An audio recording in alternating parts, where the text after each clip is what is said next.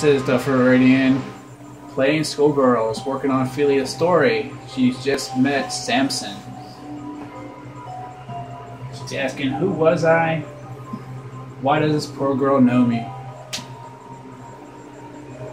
Yeah, she has a really interesting story so far.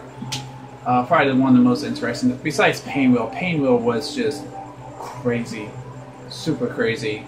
Hers isn't as crazy, but it's still crazy.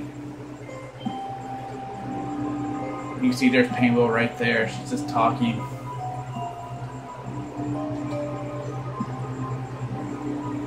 Hmm, the artwork in this game is amazing. Even the background, when you sit there just fighting, you just gotta take a glance at all the backgrounds and just admire the artwork that went into this.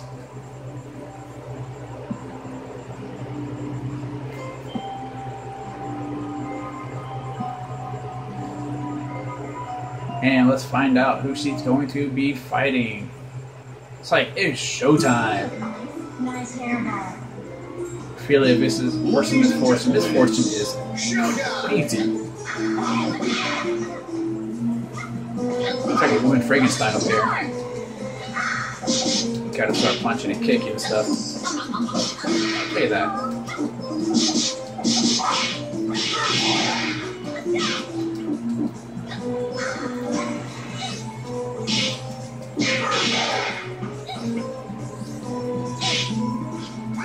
Trying to stay low here.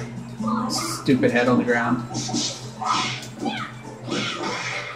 Yeah, it'd be interesting to figure out Miss, Miss Fortune's story. why her head pops off and why she's all stitched together.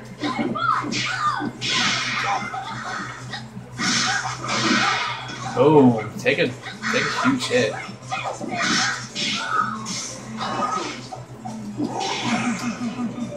And Miss Fortune is finished.